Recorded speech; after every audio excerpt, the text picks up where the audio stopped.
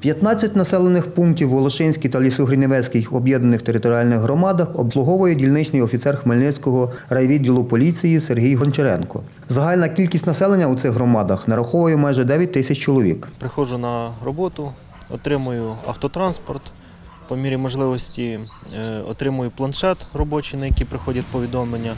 І на 9 годину приїжджаю сюди до е, сільської ради е, Олешина або лісовий Гринівець. Якщо є якісь повідомлення в даному населеному пункті, я їх вирішую і вже тоді поступає вже е, в розпорядження керівництва. Якщо десь потрібно виїхати, чи якісь там заходи здійснюються бе- з моєю участю. Жителька Олешина Алла Панасюк зверталася до дільничного з проханням, аби той провів виховну роботу з її 16-річним сином. Завідувачка Олешинським клубом Лариса Дайчук викликала дільничного через бійки у місцевому клубі. Син неслухняний в мене був.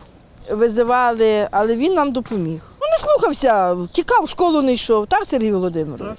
Не слухався мене, ну зараз все добре. До дільничного багато разів зверталися, і багато людей, і тут були крадіжки. В клубі була бійка, і під клубом я визивала, і участковий розбирався з дітьми. Для поліпшення роботи дільничного офіцера в Волошинській об'єднаній територіальній громаді планують закупити камери спостереження. Вартість однієї 20 тисяч гривень, каже голова Волошинського ОТГ Віталій Осядлий. Зараз ми прийняли програму по, про розвиток співпраці з поліцією. Маємо закупити відеокамери, поставити в населених пунктах при в'їзді і виїзді з населених пунктів, щоб е, працівники поліції могли відстежити якийсь е, автомобіль проїде. Сергій Гончаренко дільничним працює з 2014 року. Каже, тоді обслуговував 3 тисячі населення. Після реформи правоохоронних органів у 2016 році штат дільничних в області з 383 посад скоротився до 143.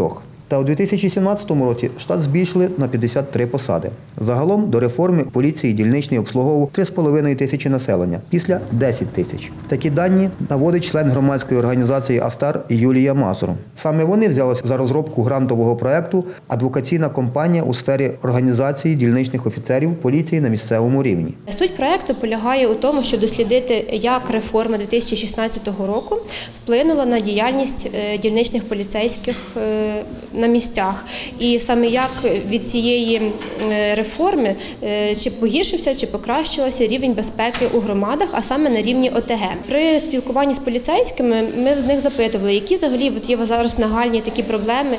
Е, Вони говорили, що дуже збільшилася е, кількість е, навантаження на одного дільничного поліцейського після реформи. У 2016-2017 році була затверджена інструкція по організації діяльності поліцейських, і дане навантаження воно було зменшено.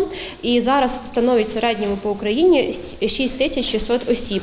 Але це все одно в два рази більше ніж до проведення е, реформи. На Хмельниччині проект будуть проводити у Колибаївській, Наркевичській і Сатанівській об'єднаних територіальних громадах. В його рамках дільничні офіцери анонімно відповідатимуть на спеціально розроблений опитувальник. З наступного тижня і до середини грудня будуть проводитися інтерв'ю.